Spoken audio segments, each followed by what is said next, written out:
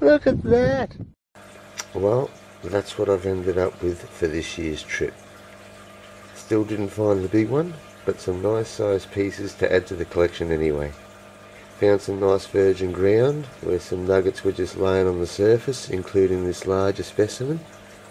You can see the line here where it was actually laying on the surface. That redder section at the bottom is the bit that was buried. Just laying like that on top of the ground. I only had to look down to see that. So I'll do an SG test on that one and find out how much gold's in it. It's about six ounces there, five and a half, six ounces.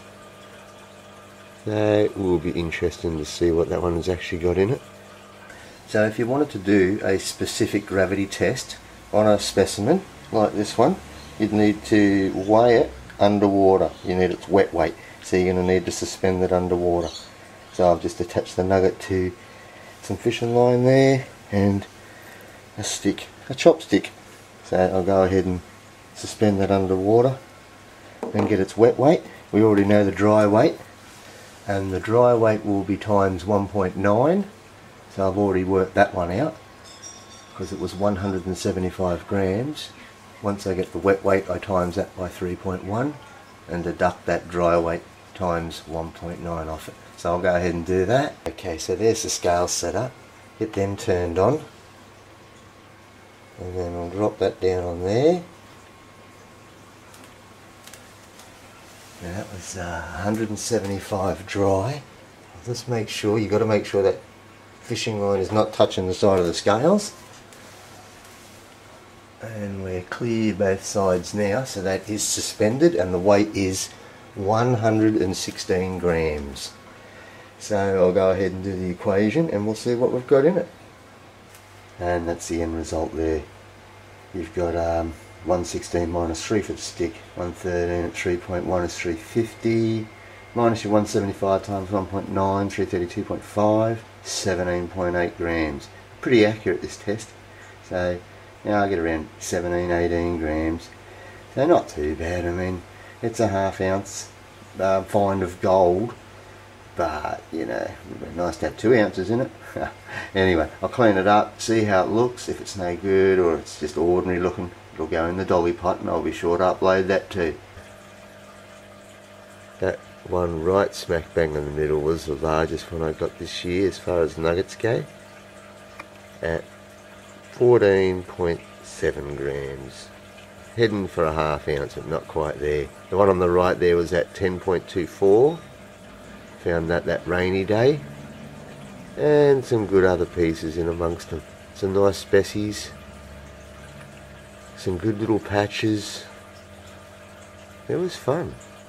A lot of fun. Um, found uh, those other pieces around it, over 500 pieces there, 514 I think. And I did trade a few pieces for different bits and things, bits and pieces, a new booster, earphones, that sort of stuff.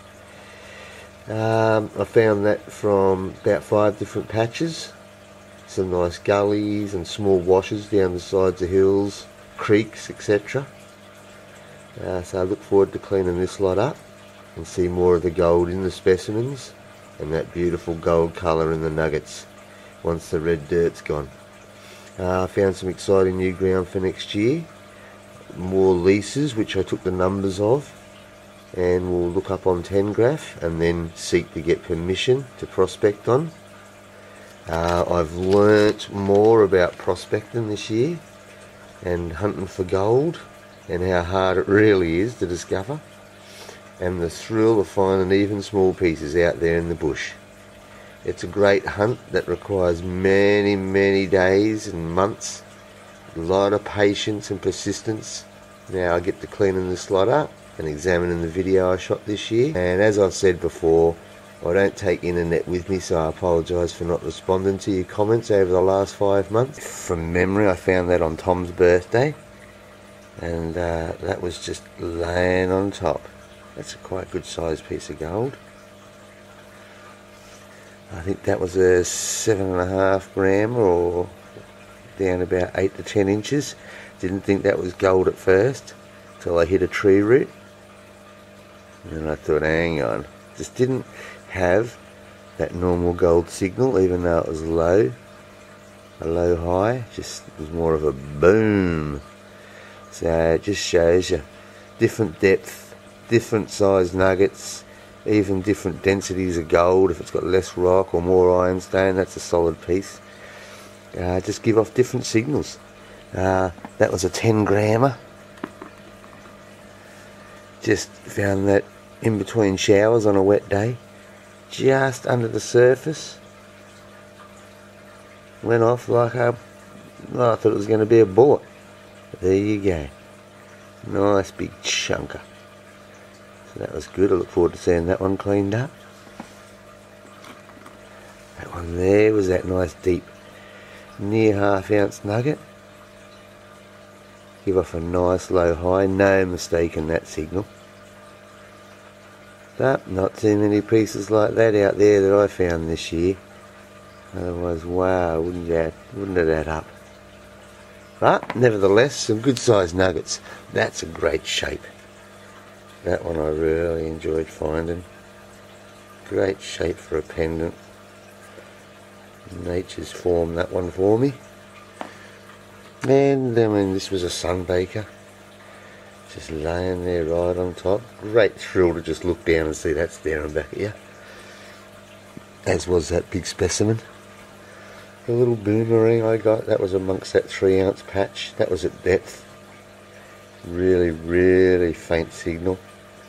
Not a normal gold signal, just the slightest little noise there, but it was persistent. And I was detecting that there was some sort of variation in the threshold and I thought well there's probably a target there.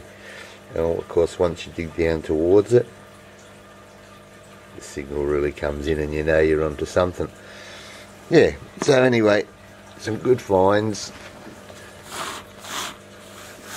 it probably looks a bit more once you start piling her up like that. A whole season for just that small amount of gold. Goes to show you it's hard to find. And that's it cleaned up. 514 pieces. Some nice nuggets. Good specimens. Good fun. Hope you enjoyed